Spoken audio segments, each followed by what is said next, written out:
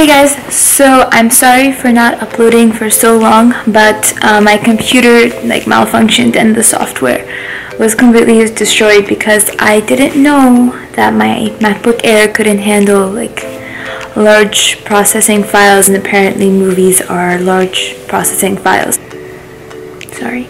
But I wanted to come back and give you guys a quick workout. This was only 8x I can't even count. Eight exercises, um, all legs, and I will be doing a voiceover for it. Um, so here up for that.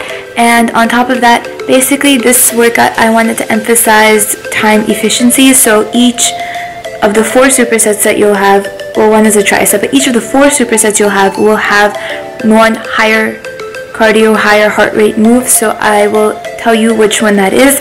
And the idea is I only had 40 minutes. I did all eight exercises four times. To start off with, you may want to start with two or three times based on your beginning level and then go from there. And you'll be able to, with time, increase your cardiovascular capacity and to do more in a short amount of time. And by doing so, you get skip cardio, you get it done in a smaller amount of time. It's not as fun as like taking risks between your lifts and like talking to people, but it's effective and I enjoyed it so I wanted to share that with y'all and I will have more talking videos later. I'm really sorry for the way I look right now. I'm about to go to bed and just got my laptop fixed a few hours ago and just had the chance to edit it but I wanted to give you guys an intro. So I thought at least this is something. I promise I'll look better for the next one. And yeah, I will Hey guys, so here are your four supersets. The first one is going to be front step ups, four sets of 10 per leg. And the idea is you don't have to lift something super heavy, but you have to be consistent and controlled with your movement. And even if you're going as slow as I am in this clip, your heart rate will end up shooting up. I was sweating after just the first set. And you have to do 10 per leg, so do 10, switch to the other side, and take as little rest as humanly possible. And the other thing I wanted to emphasize here is the idea of pushing through your foot. Out of the two moves in the superset, this is going to be the one that raises your heart rate a little bit more, in my opinion. It varies from person to person, but if I focus on pushing through my heel and using my hamstring more than my quads, then that's what ends up happening because my hamstrings are the weaker of the two. And here it is sped up again. I'm using maybe 15 pound dumbbells here, and uh, some gyms won't let you use the step, but they have like boxes you can use, so look out for those if your gym doesn't let you use them. That's going to be supersetted with split squats, and these terrify me. I despise them, but I end up doing them anyway. And so I did 12 per leg using the same dumbbells, nothing super heavy, it's like 15 pounds. And I stopped there, don't stop. Don't. No stopping. And just keep going I end up switching what starting leg I use each set because I realized that the second leg I use ends up being a little bit fatigued from being held on the bench. So I'd recommend you do that to basically avoid any type of muscular imbalance. This is going to target mostly your quads and your glutes, not as much your hamstrings. But we'll get to them, I promise. And again, push through your heel instead of the front of your foot to maintain your balance and to use your core a bit more. The second superset you're going to be doing is side step ups. I don't know if this is the actual name, but we're gonna go with it. Again, push through your heel. I'm only holding one dumbbell here because my balance on these is pretty, pretty poverty. So I did 10 on each leg. Again, focusing on pushing through my heel. If you can tell, it's kind of difficult in the clip. My toes are going up a bit, and that's to basically ensure that I'm using my heel. It also helps me stand up a bit straighter, not lean as forward, even though I kind of am in this one.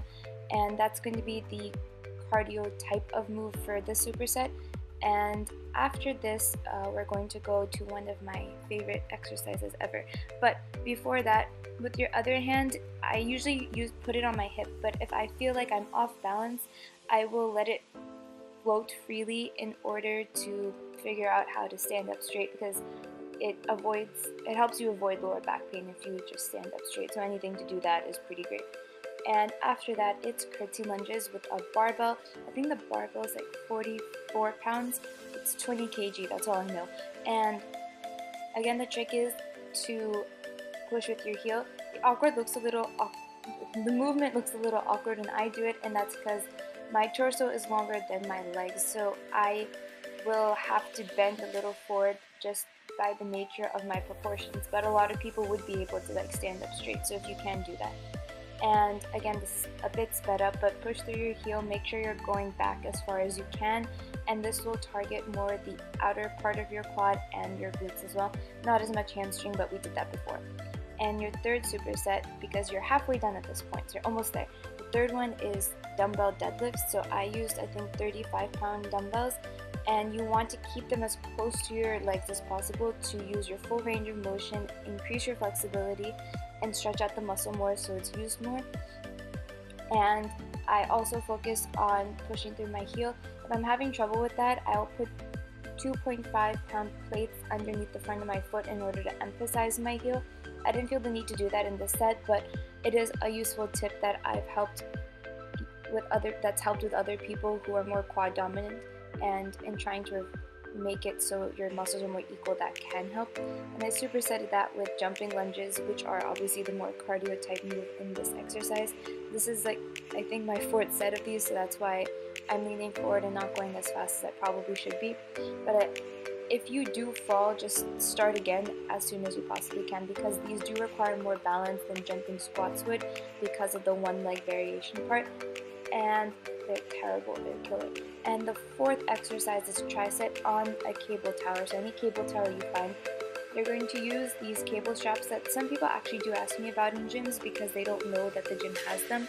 So I'll insert a picture soon of them, but you put it around your ankle, try and be perpendicular with your body and just push back again leading with your heel and so that's an example of an ankle strap that you may find and these are more narrow ones that also work. They're both equally effective. It's whatever your gym happens to have, or you can buy them off Amazon. They're not that bad, and they are so much fun.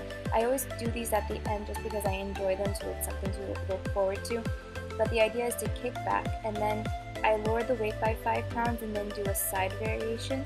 And I call them side kicks, but they probably have like a better name, like abductor or something, because that's technically the move but I do that back to back on the same leg, no resting in between, just so it the more you fatigue your muscle in a shorter amount of time, the more the muscle fibers will tear and the more the muscle will grow. And that's basically the standard principle of bodybuilding anyway. So I thought that would be helpful. And then after doing it on both legs, I did more jumping lunges because I didn't feel like doing squats and these are more challenging anyway. So I did 20, so 10 per leg, and I did that four times through, and you guys are done. Thank you so much for watching. Bye.